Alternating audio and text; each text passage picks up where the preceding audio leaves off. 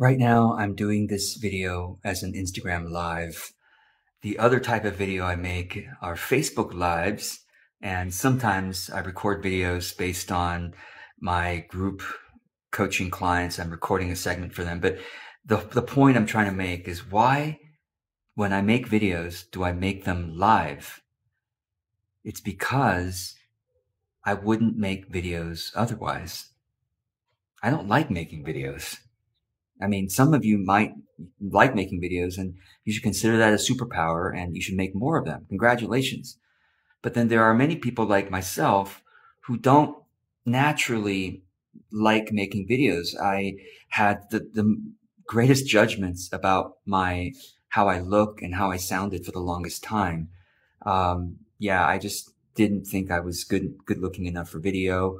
I thought I sounded strange. Um, at the first time you heard yourself on a recording for, you know, your voice, didn't it sound strange? Because it sounds different than the, the, the, the sound of your voice in your own head. So for the first couple years of my marketing training, uh, I told people that video was never going to be a thing from 2009, 2014. I said, yeah, there's no way that video will be a thing. You know, it's people, you know, search engines like text and just, just do it that way. You'll be more polished, etc. And it's because I was really embarrassed to be on video. I didn't like to be on video. And still today, it's, I've now made over a thousand videos. So I'm, I'm more used to it now. but it's, like I said, it's still not a natural, gosh, I can't wait to make my next video kind of feeling. So I just want to let you know that that's normal for a lot of us. Um, especially making video means you, you know, you have to like practice looking at the camera lens and it's not a natural thing to practice seeing the soul of your ideal viewer in the camera lens. It's just not natural. And it takes a lot of practice and to be able to show up and speak authentically, um, explore your truth and, and to really show up and try to serve others with whatever is showing up for you at the moment. That takes practice as well. Um, but I'll tell you, because of all that practice, I found that it's really, really worthwhile. Why? Well, yes, of course, it does help with business growth, audience growth, and um, business nurturing and all that stuff. It does help with business, but I find that the mo the more profound benefit is the practice of showing up and and and exploring your authentic voice. I mean, literally your voice if you're making video, but if you're doing writing or any other kind of public content, you are being vulnerable and being courageous and willing to say, maybe this is what I really believe. And oftentimes you don't really know what you believe until you say it or write it. It's not clear to you yet.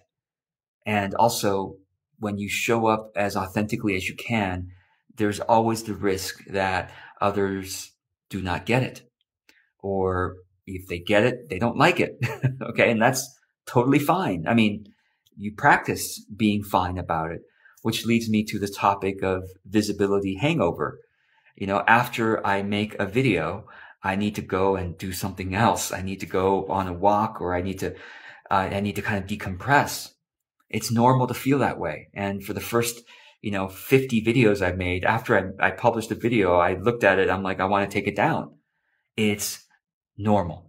And I just want you to know that even those of us who look like we're expert video creators, we show up, you know, thousands of times, we still feel the inklings of fear, anxiety, and visibility hangover afterwards, wanting to just remove the video. So sometimes I say to my clients, post and then get therapy. okay. Post and then go get therapy or uh, publish and then go on a walk and don't delete it.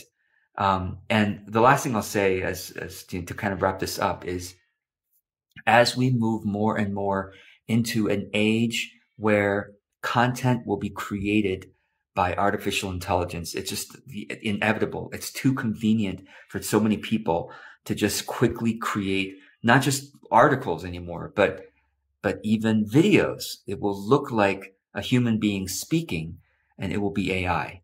And the more that happens, you know what we human beings are left to do?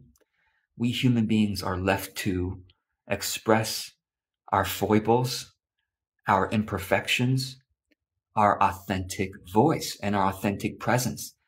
And it's going to be the, the, those of us who are the most courageous and practiced at showing up as humanly as possible, as passionately and in service to our own exploration and in service to the, the, the upliftment, upliftment of our every mistake, whatever mistakes are authentic to us.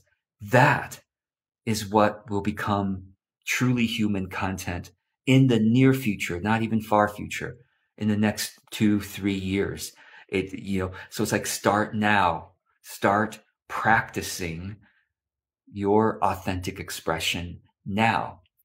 Um, through writing is wonderful, of course. Uh, through images is great, but through video has a particular power and, you know, there's is unparalleled with any other means of communication. Video shows your energy signature the strongest.